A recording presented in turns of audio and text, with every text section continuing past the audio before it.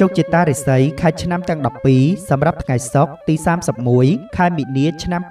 2023លោកអ្នកនាងជាទីមេត្រីថ្ងៃនេះសូមលើកយកជោគជតារិស័យសម្រាប់ថ្ងៃសុក្រ10កើតខែចែកឆ្នាំខាលចត្វាស័កពុទ្ធសករាជ2566ត្រូវនៅថ្ងៃទី31ខែមិនិនាឆ្នាំ2023ដែលមានដូចតទៅ ឆ្នាំជូតធាតទឹកពងទេវតាប្រុសរិស័យរបស់អស់លោកអ្នកដែលកាត់ឆ្នាំជូតថ្ងៃនេះមជ្ឈុំប្រសិនបើលោកអ្នកមានអារម្មណ៍ថាធុញថប់ជាមួយបរិយាកាសជុំវិញខ្លួនក៏ដូចជាគេហដ្ឋានរស់នៅប្រចាំថ្ងៃជាដើមចូលធ្វើការកាយខាយវាដោយការសម្អាតទាំងខាងក្នុងនិងខាងក្រៅឲ្យបានស្រឡះល្អចូលសម្អាតទាំងចិត្តគំនិតឲ្យបានល្អបរិសុទ្ធផងដែរចំពោះបញ្ហាស្នេហានិងគ្រួសារគឺมันមានបញ្ហាគួរឲ្យកត់សម្គាល់អ្វីនោះទេឆ្នាំឆ្លូវធាតដីពងមនុស្សប្រុសរិស័យរបស់អស់លោកអ្នកដែលកាត់ឆ្នាំឆ្លូវថ្ងៃនេះឡើងខ្ពស់ត្រដែតទំនីទីថាថ្ងៃនេះលោកអ្នកនឹងទទួលបានលៀបសំណាងគ្រប់ភារកិច្ចការងារមិនថាតែការងារនោះលោកអ្នកធ្លាប់បរាជ័យប៉ុន្មានដងហើយក៏ដោយតែថ្ងៃនេះគឺជាថ្ងៃនៃភាពជោគជ័យរបស់លោកអ្នកចំពោះរឿងគ្រួសារនិងស្នេហាគឺត្រជាក់ត្រជុំប្រៀបបីដូចជាទឹកអម្រឹតឆ្នាំខាលធាតឈើពងយៈស្រីអស់លោកអ្នកដែលកាត់ឆ្នាំខាលរិស័យមជ្ឈុំទំនីទីថាមានកិច្ចការជាច្រើនដែលលោកអ្នកត្រូវធ្វើប៉ុន្តែចូលលៃលករកតែការងារដែលចាំបាច់តែប៉ុណ្ណោះព្រោះថាបើទោះបីជាលោកអ្នកបំលែងដៃជា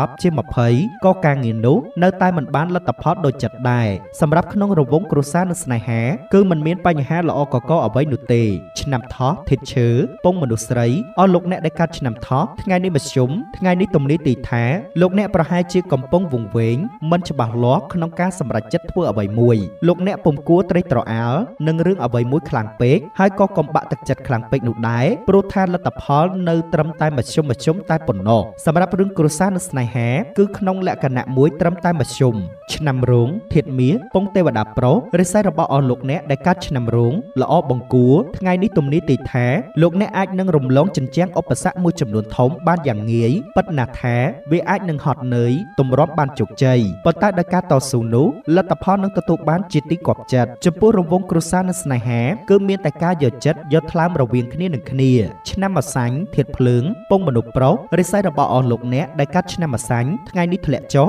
ទំនីទីថាចូលលៃលករកពេលសម្រាប់ឲ្យបានច្រើន រយៈពេលនេះលោកអ្នកមានអារម្មណ៍ថាហត់នឿយនិងបាក់ទឹកចិត្តប៉ុន្តែការដកដង្ហើមស្រូបខ្យល់អាកាសវែងវែងក៏ជាវិធីសាស្ត្រមួយដ៏ល្អប្រសើរផងដែរចំពោះក្នុងរង្វង់គ្រួសារនិងស្នេហា មានតែការយកចិត្តទុកដាក់និងឲ្យតម្លៃដល់គ្នា ជាអ្វីដែលចាំបាច់បំផុតនៅក្នុងថ្ងៃនេះឆ្នាំមមីធាតភ្លើងពងទេវតាស្រីអស់លោកអ្នកដែលកើតក្នុងឆ្នាំមមីថ្ងៃនេះរាសីឡើងខ្ពស់ត្រដែតទំនីទីថារឿងមងសៅទាំងប៉ុន្មាននឹងរលាយបាត់អស់ចេញពីជីវិតលោកអ្នកនៅក្នុងថ្ងៃនេះលោកអ្នកនឹងក្លាយជាអ្នកឲ្យទានទាំងចិត្តល្អបរិសុទ្ធដល់អ្នកដែលខ្សត់ខ្សោយចំពោះបញ្ហាគ្រួសារនិងស្នេហាគឺបញ្ចេញពន្លឺត្រចះត្រចង់គួរឲ្យសរសើរឆ្នាំមមែធាតមាសពងទេវតាស្រីអស់លោកអ្នកដែលកើតឆ្នាំមមែរិស័យថ្ងៃនេះឡើងខ្ពស់ត្រដែតរកការប្រកបរបរការងារនិងដំណើរទីចិត្តទីឆ្ងាយគឺរលូនល្អណាស់សោតឯអ្នកចិត្តខាងក៏មានអធិស្ឋានល្អរវាងគ្នានឹងគ្នាងាកមកគ្រួសារនិងស្នេហាគឺមានពន្លឺត្រចះត្រចង់ឆ្នាំវកធាតដែក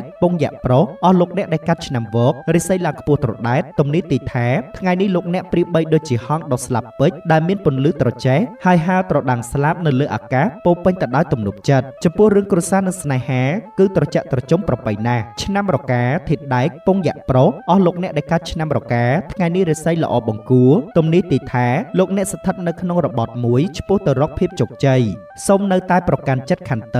និងអត់ឱននៅគ្រប់កលៈទេសៈនោះសេចក្តីប្រាថ្នានឹងសម្រេចបានលទ្ធផលឆាប់ឆាប់នេះចំពោះរឿងគ្រួសារនិងស្នេហាគឺមានភាពផ្អែមល្ហែមឆ្នាំចធាតដីពងយៈស្រីអស់លោកអ្នកដែលកើតឆ្នាំចថ្ងៃនេះរាសីឡើងខ្ពស់ត្រដែតទំនីទីថាលោកអ្នកនឹងចេះរស្មីប្រៀបដូចដួងតារាព្រោះតែទង្វើល្អដែលបានសាងមកជាយូរចូលនៅតែបន្តធ្វើអំពើល្អដោយការឲ្យទានដើម្បីជាប្រយោជន៍ទៅថ្ងៃមុខបន្តទៀតចំពោះស្នេហានិងគ្រួសារគឺផ្អែមល្ហែមត្រជាក់ត្រជុំដូចទឹកអម្រឹតឆ្នាំកុលធាតទឹកពងមនុស្សស្រីរិស័យរបស់អស់លោកអ្នកដែលកើតឆ្នាំកុលថ្ងៃនេះមធ្យមទំនីទីថាលោកអ្នកនឹងអាចជួបមនុស្សប្លែកមុខមកសុំពឹងពាក់ចូលកុំឆាប់ទុកចិត្តគេពេកក៏ពុំគួរឆាប់វាយតម្លៃគេថាជាមនុស្សមិនល្អពេកអីព្រោះក្នុងធាតុអាក្រក់ដែលអ្នកជួបក៏មានធាតុល្អបង្កប់ក្នុងនោះដែរចំពោះរង្វង់គ្រួសារនិងស្នេហាគឺមានតែភាពសុខដុមរមនា